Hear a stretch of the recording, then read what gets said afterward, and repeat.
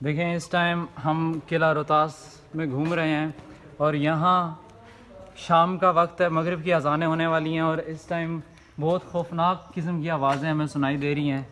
हर तरफ़ से दीवारों से। दीवारों से बहुत मध्यम आवाज़ में कोई कह रहा है।